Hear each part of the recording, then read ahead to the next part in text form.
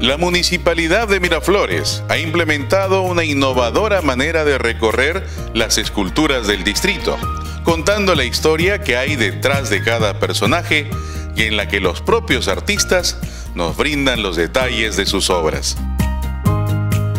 Se trata de videoguías o tour virtual que te permitirá conocer las esculturas más emblemáticas de Miraflores.